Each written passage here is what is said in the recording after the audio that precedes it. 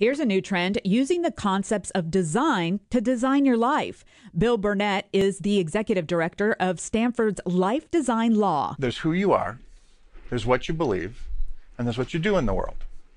And if you can make a connection between these three things, if you can make that a coherent story, you will expe- experience your life as meaningful.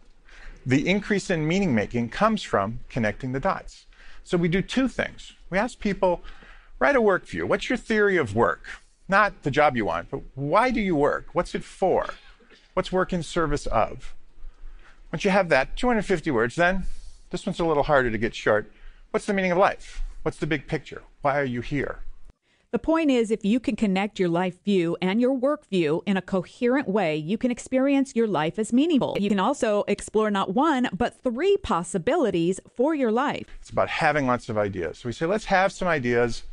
We're going to ideate your future, but you can't ideate just one. You have to ideate three. Now, what happens when they do this is one, they realize, oh my gosh, I could actually have imagined three completely parallel lives. They're all pretty interesting. But a lot of times, the things that come up on the other plans were things that they left behind somehow. In the busyness of life, they forgot about those things.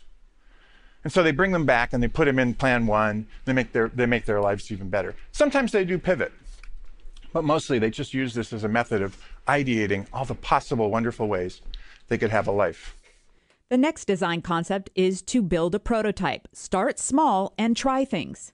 But in our model, the thing you do after you have ideas is you build a prototype. We have met people who've like quit their job and suddenly done something else. It hardly ever works.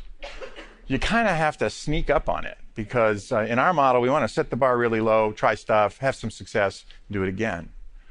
So when we say prototype in our in our language, what we mean is a way to ask an interesting question. What would it be like if I tried this? a way to expose the assumptions. Is this even the thing I want, or is that just something I remember I wanted when I was 20? This is a fascinating concept. I think it would be great for college professors to have this as an assignment to really think about designing your life and three possibilities and where are you really going to go. You know? yeah, I can see that. as you get older in life, I think that you know much of what he says makes a lot of sense, and I think people are already probably doing it without having putting pen sure. to paper. Mm-hmm. But I do I do agree with you in that you know when you're in your early 20s and, yes. and late teens and you're thinking about what is it that I want to do and where is it that I want to go. Mm-hmm. In terms of just opening up your brain to all those options, maybe it is good to get it pen to paper. Exactly. Yeah. yeah all right. Quite a concept designing your life. we wish you well. Yes.